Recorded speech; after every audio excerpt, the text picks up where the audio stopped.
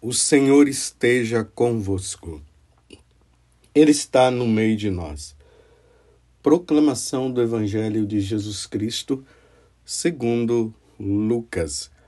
Glória a vós, Senhor.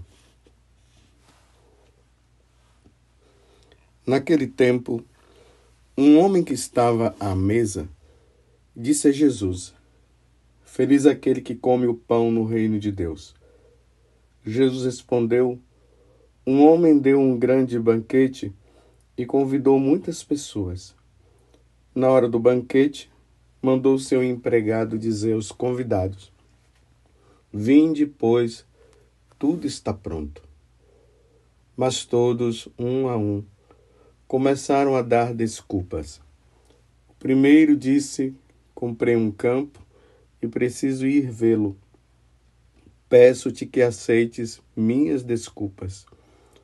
Um outro disse: Comprei cinco juntas de bois e vou experimentá-las.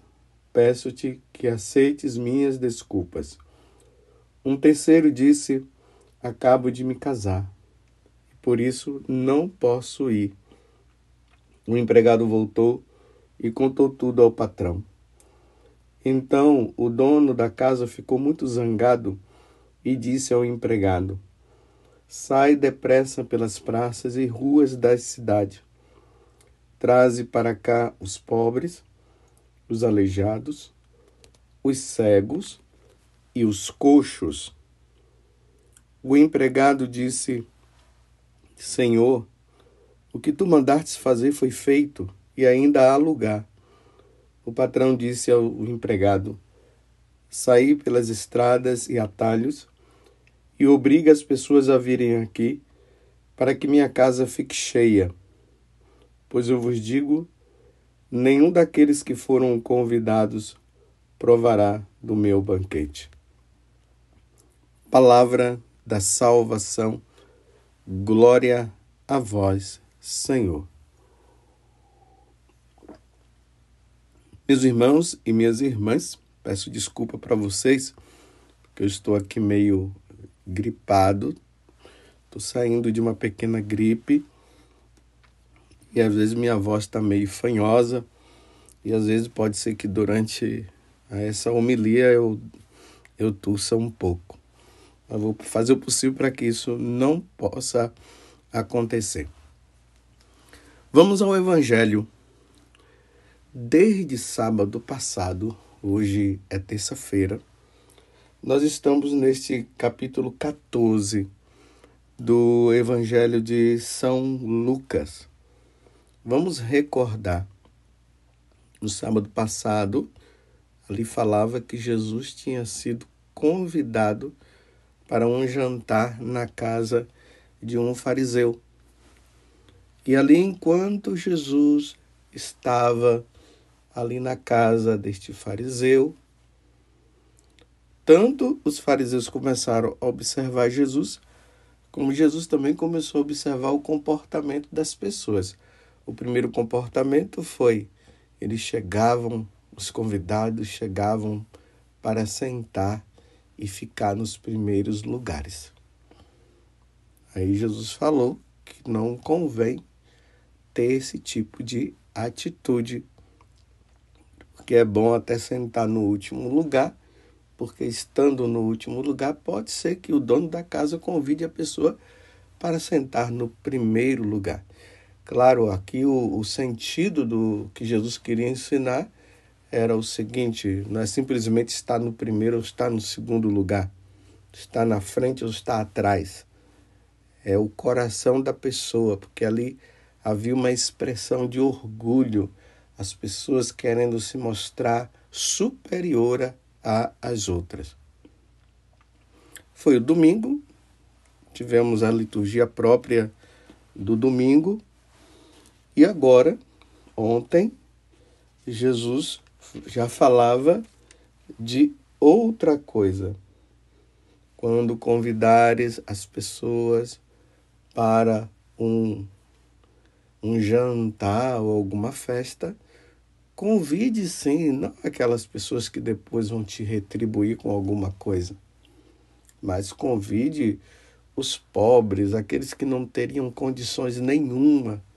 Primeiro, porque ali Jesus estava ensinando ali o fariseu e as pessoas que estavam ali também a questão da obra de caridade que nós devemos fazer para com os outros. Seria muito melhor nós fazermos uma obra de caridade para quem não tem, eu estou dizendo no sentido material, do que com pessoas que já têm. Aí Jesus, porque vocês fazendo isso, o que é que vai acontecer? Eles também vão te convidar e vão até querer te retribuir da mesma forma, mas vocês convidando os pobres, eles não vão ter como retribuir. E aí sim, vocês receberão a verdadeira retribuição. Deus dará a recompensa pelas, pela obra de caridade feita. Você entendeu? Foi ontem, foi essa passagem. Então, não é que Jesus também não esteja dizendo que você não pode convidar os seus amigos, até mesmo que tem uma situação financeira boa, para estar com vocês. Claro, isso pode ser feito, mas não esquecer dessa obra de caridade que nós devemos fazer para com aqueles que nada têm. E que alegria para uma pessoa pobre que não tem nada sendo convidada para um jantar na casa de uma pessoa assim. É, é maravilhoso. É uma coisa muito boa. E hoje, nessa continuação, porque Jesus continua no jantar na casa do fariseu. E hoje ele traz um novo ensinamento. E qual é o novo? Na hora que Jesus começou a dar esses ensinamentos, uma pessoa no meio da multidão ali, não vou dizer da multidão, mas no meio ali do, dos que estavam naquela naquele jantar, ela disse: Feliz aquele que come o pão no reino de Deus. Diante de tudo que Jesus falou, a pessoa empolgada, ela fala agora de um pão que é comido no reino de Deus. Lembremos que lá no livro do Apocalipse Jesus fala que nós, ele mesmo virá nos servir tudo para mostrar a grande felicidade do reino de Deus, do céu. Não é que simplesmente que lá no céu nós vamos ter comida à vontade. Não é isso. É, é a felicidade eterna que acontecerá no reino de Deus. Então, muitas vezes Jesus mostra a felicidade no reino de Deus como um grande banquete, como uma festa de casamento, porque num banquete, numa festa de casamento, se demonstra ali a alegria das pessoas estarem. Mas é, é uma forma humana de se expressar, de expressar a verdadeira felicidade que nós buscamos. Que não é nesse mundo. Meus irmãos, que isso fique bem claro. Jesus veio para apontar para mim e para você o céu. Tudo que acontece neste mundo, meus irmãos, é passageiro. As pessoas vivem buscando uma felicidade aqui e aqui você nunca vai ser feliz, nem eu. Nós teremos momentos de felicidade, mas a verdadeira felicidade, meus irmãos, é no céu. Isso deve ficar bem claro. Não se esqueça, nós temos uma alma. A nossa alma é eterna. A nossa alma não morre. O que morre é o nosso corpo. Então, às vezes, as pessoas ficam procurando satisfazer o corpo, mas esquecendo que a nossa alma terá que ir um dia para a eternidade e vai depender de como nós vivemos aqui neste mundo. Então as pessoas ficam achando que é aqui, a felicidade é aqui. Muitas vezes tem pessoas da igreja que falam mais da felicidade terrena do que da felicidade eterna. E aí tá essa situação deste homem. Aí Jesus fala, conta mais uma parábola dentro desta situação dele estar na casa desse fariseu num jantar. Aí ele fala de um banquete realizado e que já estava tudo pronto e que o patrão agora manda o empregado chamar os convidados para irem para esse banquete e eles começam a inventar desculpas. O primeiro disse assim: comprei um campo e preciso ir vê-lo. Peço que peço-te que aceite minhas desculpas. Aí o outro disse: Comprei cinco juntas de bois e vou experimentá-las. Aí peço-te que aceites minhas desculpas. Um terceiro disse: Acabo de me casar e por isso não posso ir. Vocês estão entendendo? Diante deste banquete, as pessoas estavam inventando desculpa para não irem. E quais foram as desculpas? Olhem que as desculpas estão relacionadas a situações materiais. O um que comprou a junta de boi, outro que é, comprou um campo, um outro que tinha casado e não foram para o banquete. Mas vamos retomar o que o homem falou. Um homem que estava à mesa disse ali a Jesus: Feliz aquele que come o pão no reino de Deus. O reino de Deus não é aqui, meus irmãos.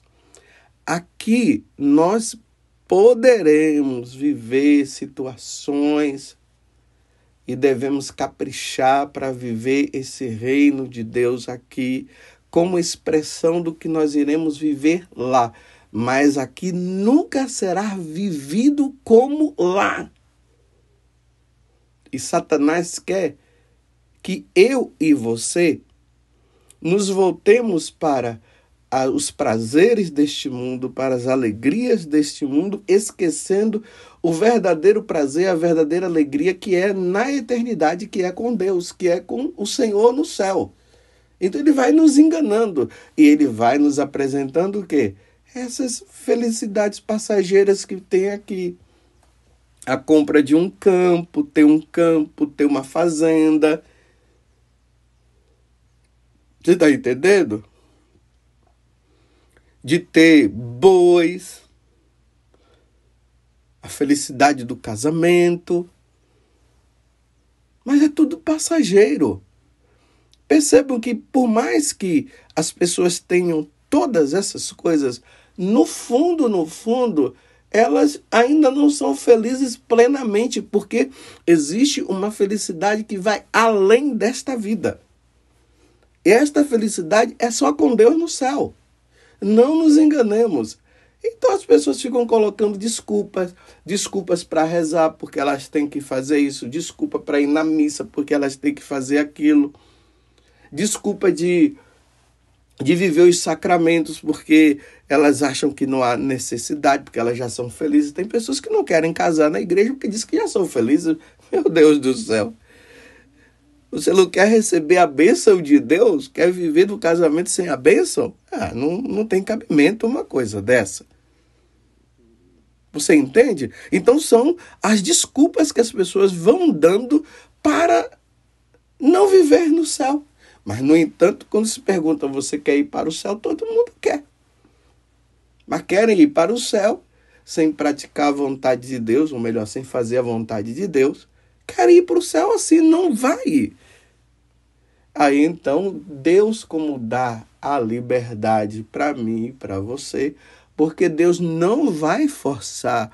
Nosso Senhor não vai forçar ninguém a querer ir para o banquete eterno.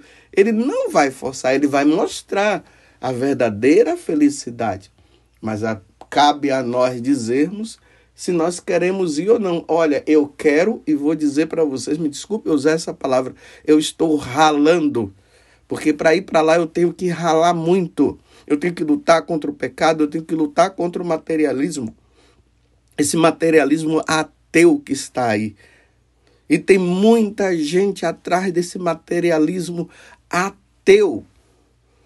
Um materialismo que busca sem Deus, porque, claro, nós precisamos prover as nossas necessidades materiais, mas nós devemos prover essas necessidades com Deus. Por isso que em Mateus 6, ali a partir do versículo 20, Mateus 6, a partir do versículo 24 a 33, se eu não me engano, quando Jesus fala que nós não podemos servir a dois senhores, ou nós devemos servir a Deus ou ao dinheiro, e ele propõe que nós devemos servir é a ele e que nós não devemos nos preocupar com as coisas deste mundo. Aí no final Jesus fala: buscai primeiro o reino de Deus, e as outras coisas são, serão dadas em acréscimo Hoje existem algumas teorias na igreja onde as pessoas vivem dizendo que como é que eu vou dar Deus para a pessoa se ela não tem pão, se ela não tem comida, se não tem nada? Meu Deus, isso é marxismo. Isso é comunismo. É claro que depois que nós buscamos a Deus, Deus vai prover também as nossas necessidades, mas Deus quer a nossa salvação. Não se esqueçam também de João capítulo 6. Quando o pessoal vai atrás de Jesus por ele ter multiplicado os pães, e Jesus disse: Não, vocês estão atrás de mim só porque eu multipliquei os pães. Vocês devem sim se empenhar, ele fala. Se empenhe pelo pão eterno, pela felicidade eterna pelo pão que eu darei, aí ele diz que é o meu corpo, que é o meu sangue, que é a minha carne. Lute por este daí. E ele diz que aquele que não comer da carne, da sua carne no beber do seu sangue, não terá a vida eterna. E aquele que comer da sua carne e beber do seu sangue, eu o ressuscitarei no último dia. Foi isso que Jesus falou. Então tem umas pessoas atrás de um materialismo e tudo, às vezes procura até Deus para resolver problema material, mas não quer mudar de vida, não quer se converter, quer continuar numa vida errada, porque para elas o, o mais importante é resolver os problemas materiais. Não, meus irmãos, nós temos que nos salvar. Nós temos que buscar a nossa salvação. E aí, voltando ao evangelho, como as pessoas não quiseram, porque Deus deu a liberdade, ah, então tá bom, vamos chamar os outros. E aí, traz cá os pobres, os aleijados, os cegos e os coxos. Ou seja, não é simplesmente o pobre porque é pobre, ou o cego porque é cego, e o coxo porque é coxo. Mas são pessoas que elas estão tão dependente de Deus que materialmente elas não têm nada. Então, chama elas, porque essas que têm um coração aberto, felizes os pobres de espírito, porque deles é o reino de Deus, não é o pobres materialmente, é é, são os pobres de espírito. Então chama esses aí. Já que esses estão tão apegados, Chame aqueles que não têm nada, aqueles que estão precisando de mim. Esses daí não, não querem precisar de mim, então chame agora aqueles que precisam de mim. E aí chama. Aí Jesus diz assim, contando ainda a parábola: sair pelos atalhos, estradas e obriga as pessoas a virem aqui para que minha casa fique cheia. É até interessante que Jesus até está dizendo aqui que é para obrigá-los, né? Enquanto eu até dizia que é tudo na liberdade. Mas é aquela obrigação assim: vamos, vamos tomar um tino. Vocês querem ou não querem? Vamos, vamos. Mas não é, um forçar ou e pegar a pessoa porque não tem mais jeito. Mas esse forçar, vamos, vamos, é para ver se a pessoa toma um tino e diz assim: nossa, vamos, é isso mesmo. Porque aí Jesus conclui a parábola de forma magistral. Porque a minha casa, para que minha casa fique cheia, para que o céu fique cheio. O céu não pode ficar vazio. Se Lúcifer, junto com uma terça parte, saiu, foi expulso do céu. E olha aqui, essa terça parte, meus irmãos, é muito, muito, muito, são muitos, muitos, muitos, muitos anjos que foram expulsos e se transformaram em demônios e que eles nunca mais vão voltar. E Deus agora quer que nós povoemos, eu, você. Por isso aqui que os casais precisam é, é, ter filhos, para que o céu seja povoado por filhos de Deus. Imagine eu e você lá no céu. Aquele lugar que foi para mim, que é para mim e é para você. Foi não, é para mim e é para você.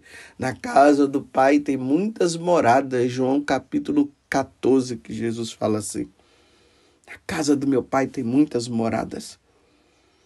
E nós precisamos ocupar esse lugar, porque a casa de Deus, o céu precisa ficar cheio. Meus irmãos, vamos fazer com que nós sejamos dignos de um dia estar também no reino dos céus. Porque nenhum daqueles que foram convidados provará do meu banquete. Ou seja, aqueles que viveram numa vida materialista aqueles que deram as costas para Deus, aqueles que ficaram preocupados com o campo, ficaram preocupados com todo tipo de casamento, com todo tipo de prazer. Aqueles que ficaram preocupados com as criações. Isso tudo é uma metáfora para dizer o apego a este mundo. Não nos apeguemos a este mundo, meus irmãos. Não nos apeguemos. O nosso apego é a nosso Senhor Jesus Cristo. O nosso fim é o céu.